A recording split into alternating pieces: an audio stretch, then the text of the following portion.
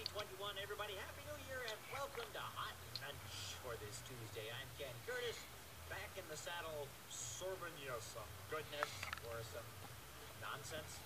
Maybe a little bit of both. We've got something nonsensical and odd. From the Animal Farm, you'll get a chance to meet James Hound, our safety expert and security inspector and former secret agent 007 K9. That's coming up in just a little bit because, yes, that's one of the things that we do here at Hot Lunch. We serve you nuggets of nonsense from your favorite Kids Place live shows.